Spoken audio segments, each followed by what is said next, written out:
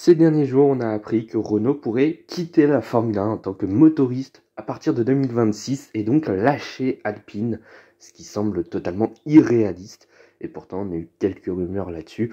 On va parler de tout ça dans cette vidéo. N'oubliez pas de liker, partager, commenter et surtout vous abonner à la chaîne. C'est très important. Et on est parti. Alors celle-là, je l'avais pas vue venir. Renault pourrait donc quitter la Formule 1 en tant que motoriste à partir de 2026, année de la nouvelle réglementation, et donc lâcher Alpine à ce moment-là, ce qui semble complètement impossible parce que Alpine fait partie de Renault justement, et donc l'association du châssis Alpine avec le moteur Renault est rien de plus logique. Et pourtant, dans deux ans, on pourrait se retrouver avec une équipe Alpine en tant qu'équipe cliente avec un moteur Mercedes, Ferrari, Ford, Audi, Honda, tout ce que vous voulez, mais pas Renault. Et ça, ça semble complètement irréaliste. Et pourtant, ça pourrait bien se faire. Ça, ce sont des nouvelles qui font un petit peu peur quand même, parce que si réellement Renault quitte Alpine en 2026, ben, ce sera réellement un, un échec pour Alpine.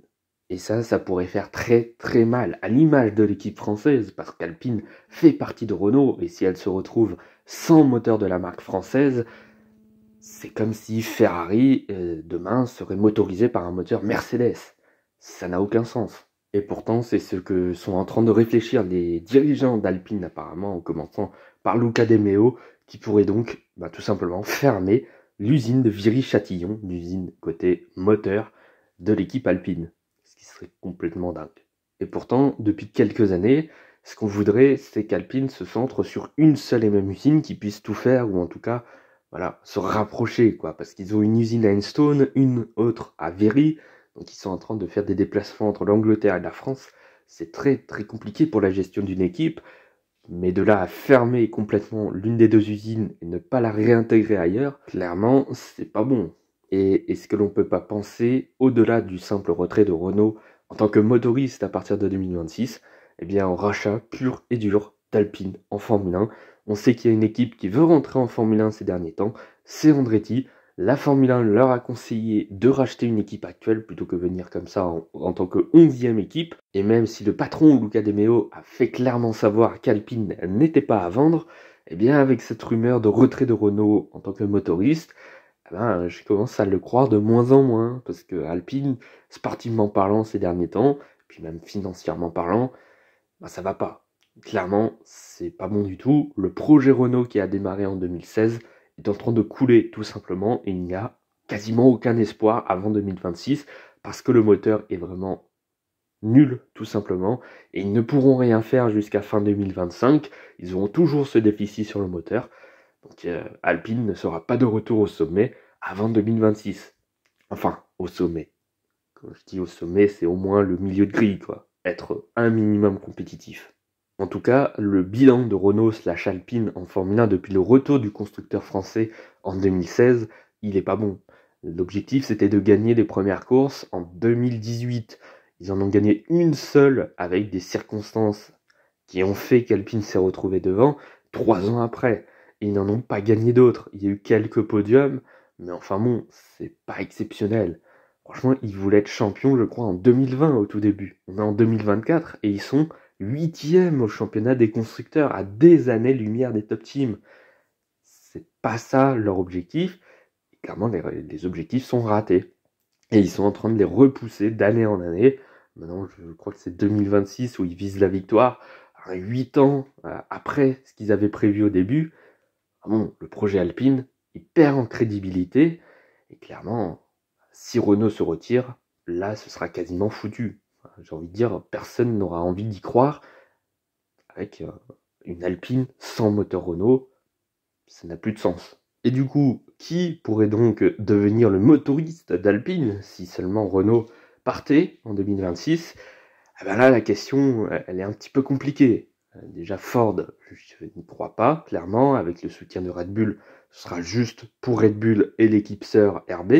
Chez Ferrari, chez Mercedes, ça semble assez compliqué quand même de motoriser Alpine. Quoique pour Ferrari, il pourrait y avoir une place, eux qui ne vont motoriser seulement leur écurie et As, puisqu'ils vont perdre Sauber qui va être motorisé par Audi. Audi justement qui va rentrer en Formule 1 justement en tant que motoriste en 2026. quasiment aucune chance qu'ils aillent motoriser une autre équipe alors qu'ils se concentrent uniquement pour le moment sur leur projet de constructeur motoriste, euh, tout le groupe Audi quoi. Et chez Honda, eh ben, il y a un partenariat exclusif avec Aston Martin. ce serait un petit peu cassé ce partenariat entre Honda et Aston Martin que de motoriser Alpine. Donc là aussi, j'y crois assez peu, même si ça reste le choix le plus possible finalement. Mais bon, politiquement parlant, ça semble compliqué pour Alpine d'être motorisé par Honda. Alpine aura une date butoir pour confirmer le retrait ou non de Renault à partir de 2026 et de trouver un nouveau motoriste à partir de cette date, c'est à partir de mai 2025, ils devront avoir un constructeur et si ça n'est pas le cas, eh bien il y a un constructeur qui va être obligé, en gros, de motoriser Alpine en 2026. Et ce sera pas forcément le choix de l'équipe française. Donc là aussi ça devient très très compliqué parce que finalement, les réflexions, elles commencent assez tard parce que bah, dans moins d'un an, ils devront être fixés sur le motoriste à partir de 2026. Et puis même, au-delà de ça, la voiture va commencer à être développée en 2025, très certainement début 2025, donc avant la date butoir. Et donc la, bah, conception du châssis, bah, ça passe aussi par le moteur, parce que chaque moteur n'a pas la même dimension, la même forme. Et donc euh, la conception du châssis, en tout cas la partie du capot moteur, bah, ça se fait à partir du moteur. Et donc s'ils n'en ont pas, bah, c'est compliqué de faire un capot moteur. Bon, en tout cas, c'est bien compliqué la situation d'Alpine, encore une fois, après tout ce qui s'est passé depuis, même depuis le début avec Frédéric Vasseur, il y avait déjà eu des problèmes dès la première année, ensuite avec Abitbull, bon, ensuite il y a eu encore des problèmes avec la clique de Rossi, Prost, euh, il y a eu aussi Snap Maintenant, il y a des problèmes avec Bruno Fama, Esteban Ocon. Ah ça devient vraiment saoulant et c'est pour ça que j'ai envie de croire, malheureusement, à la vente d'Alpine dans quelques temps, parce que là, clairement, le projet, ça ne va pas du tout. En tout cas, en tant que motoriste, pour revenir sur ce que je disais tout à l'heure, ah bah, la solution la plus probable, ce serait Honda, surtout dans le cas où ils n'ont pas de motoriste et ils doivent en être assignés par un. Bah, ce serait Honda qui ne motorise qu'une seule équipe. La règle dit que si une équipe n'a pas de motoriste, eh bien elle est assignée par le motoriste qui motorise tout simplement le moins de constructeurs. Et dans ce cas-là, c'est Honda. La règle ne s'applique pas aux nouveaux entrants, donc pour Audi, ça ne marchera pas. Et chez les autres équipes, bon, à voir ce que ça peut donner, mais j'y crois pas forcément. Je pense que les discussions vont très vite s'arrêter entre Ferrari, Mercedes, Ford Red Bull. C'est très très compliqué. Donc pour Alpine, la situation devient un peu délicate. Alors maintenant, ce ne, sont que des rumeurs. Hein. Ça se trouve, Renault restera en Formule 1 en 2026. En attendant, bon, j'ai pas envie de dire que ces rumeurs viennent de nulle part.